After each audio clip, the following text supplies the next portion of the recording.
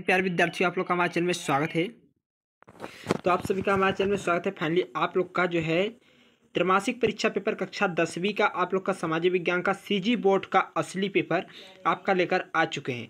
तो आपका CG board का पेपर है, पचहत्तर पूर्णांक होने वाला है आपका यहाँ पर। और आपका जो है, यहाँ पर टोटल तीन घंटे समय रहेगा। और टोटल आपके जो है, यहाँ पर क्वेश्चन यहाँ पर, पहला क्वेश्चन है, पाँच अंक का यहाँ पर देख सकते हो। सही विकल्प चुनकर लिखना है, प्रत्येक पर एक एक अंक निर्धारित है। तो यहाँ पर चलिएगा, देख लेते हैं। उससे पहले एक छोटी सी रिक्वेस्ट है, अगर आप हमारे चैनल पर नए चैनल को सब्सक्राइब करो, वीडियो को लाइक कर लेना। तो यहाँ पर चलिएगा, पहला क्वेश्चन है, प्राकृतिक संसाधन है। तो प्राकृतिक संसाधन, यहाँ पर चार ऑप्शन कुछ इस प्रकार से दिए रहेंगे। तो यहाँ पर क्या क्या है, आपका पहला है प्राकृतिक प्रदत्त फिर है दूसरा है मानव निर्मित प्रदत्त फिर है स्वनिर्मित, फिर है दैवी तो इसका राइट आंसर ऑप्शन नंबर आ हो जाएगा प्राकृतिक प्रदत्त इस प्रकार से अगला है आपका क्वेश्चन यहाँ पर भूमि का प्रबंधक जो है करना। तो यहाँ पर आवश्यक है, आवश्यक नहीं है, कभी कभी आवश्यक है और आवश्यक है अल्प समय के लिए। तो ये आपका जो है आवश्यक है, ये राइट आंसर हो जाएगा क्योंकि आवश्यक ही है। अगला है प्रथम विश्व युद्ध हुआ था। तो प्रथम विश्व युद्ध आपका कब हुआ था? तो आपका राइट आंसर हो जाएगा ए उन्नीस सौ चौदह में। इसके बाद आपका अगला है, कारखानों का निर्माण हुआ था। यहाँ पर बंजर भूमि पर, सड़कों पर और कृषि भूमि पर कहीं नहीं तो कारखाने जो हैं, बंजर भूमि पर हुई थी। इसके बाद अगला है आपका सर्वाधिक जो है, भौमिक, वयस्क मताधिकार की आयु कितनी होती है? माताधिकार की आयु यानी कि वोट डालने का अधिकार आपको कितने वर्ष के है? तो इसका राइट आंसर हो जाएगा आपका अठारह वर्ष। क्या अठारह वर्ष? चलिएगा, अगला क्वेश्चन यहाँ पर देख लेते हैं। रिक्त स्थान की पूर्ति है। यहाँ पर आपका देश में खाली स्थान के हस्ताक्षर के बिना कानून नहीं बन सकता। तो देश में जो है प्राइम मिनिस्टर के हस्ताक्षर लाएगा, इसके बाद जो है कानून बनेगा। संविधान सभा जो है लागू कब हुआ था? तो 1950 को जो है संविधान सभा लागू किया गया था।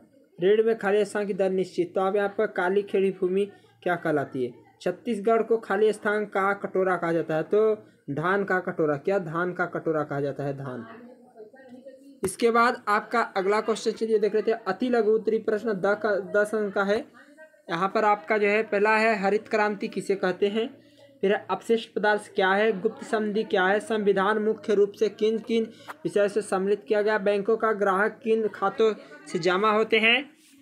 इसके बाद पंद्रह अंक का आपका ये है। आपका लघुत्तरी प्रश्न, सभी ऋण उपलब्ध हो सके। इसके लिए क्या करनी चाहिए? महिलाओं को बेहतर जो है शिक्षा के लिए क्या क्या उपाय करनी चाहिए? फिर है सैनिकों की दक्षा सुधारने के लिए क्या क्या कदम उठाएँ?